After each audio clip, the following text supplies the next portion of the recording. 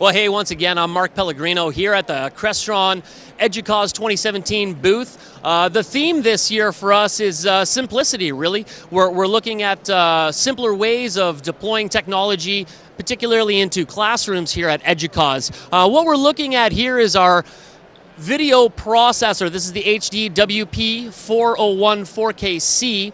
Um, the advantage that this has over other video wall processors is the ease of use and the simplicity of configuration. Uh, traditionally, video wall processors have been very expensive, difficult to program, and not very easy to use once they're implemented.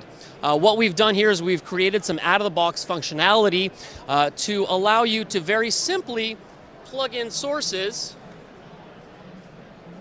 and once you start adding sources to the video processor, it will actually start to do that video processing for you automatically. So now I'm going to plug in the next source. And you'll notice that in a moment we'll have up on the screen a, a 3 up. I could also configure that for a 3 down. And once I plug in the fourth source, the fourth source will be displayed up on the screen. So to add to that user experience, we've paired our cable cubbies, the TT100s, and these allow you to switch between full screen mode and the multiplexed mode.